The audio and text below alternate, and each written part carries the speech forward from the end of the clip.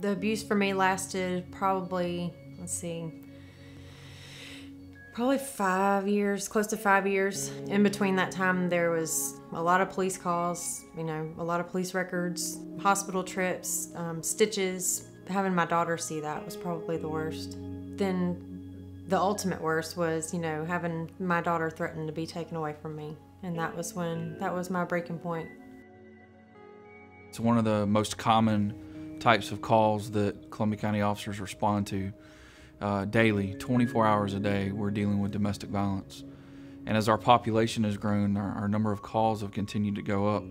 So there's a great effort into uh, bonding with our local nonprofits, most importantly, SafeHomes, because that's that's just their primary goal is to changing lives. One of the things that we do when we respond to the domestic violence cases is we hand out these bracelets, uh, and they simply say, "Is this abuse?" Uh, so even if, if our victim at the time may not have the courage to call uh, right then or to go to the shelter, uh, and it may be hours or days later, she can look at this and say, you know what, I can go, I can go somewhere for help. We are the only domestic violence shelter in a 10 county area. We provide 24 hour emergency shelter, but we also have an emergency crisis hotline. We provide life skills classes, um, support groups, parenting groups, financial assistance, transportation, child care, a residential aftercare program, legal advocacy, and our mission is to transform victims of domestic violence into survivors. SafeHomes had been at a point of needing to expand for about eight years. Um, they had uh, looked at lots and different things, but they hadn't taken the step forward to actually get into the build of a new facility.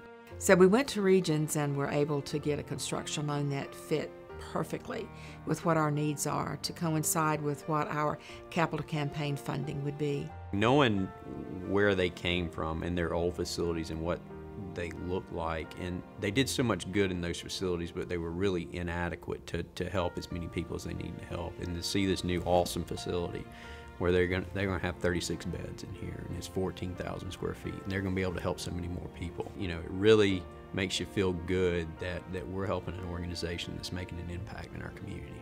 When Amy and Joanna kind of came to us and said, you know, this is our vision, this is our dream of the shelter, we were right in. We were like, what can we do to help? We were there from day one, helping them pick out the piece of land that the shelter now sits on, all the way to um, helping them design the shelter.